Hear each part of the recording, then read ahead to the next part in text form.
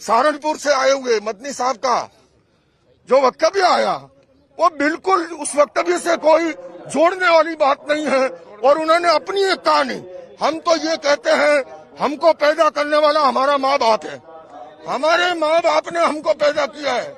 हमको भगवान महावीर या अल्लाह ने पैदा नहीं किया है। हम उनको उससे ऊपर मानते हैं। ये फालतू की बातें उसने पैदा किया, अरे पैदा मेरे मेरे माँ बाप ने किया। और हम ये मानते हैं कि मेरे अच्छे कर्मों से सदभाग्य का निर्माण होता है। खराब कर्मों से दुर्भाग्य का निर्माण होता है।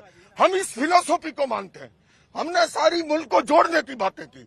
इन्होंने इस तरह से उस आदम को, अल्लाह को ला करके और मनु को लाके जिस तरह से प्रतिपादन किया, पूरी की पूरी ये। हम जो भारतीय सर्वधर्म संसद के लोग और हमने सर्वसम्मति से मैं अकेला नहीं हम इसका विरोध करते हैं मुखापलत करते हैं। Thank you.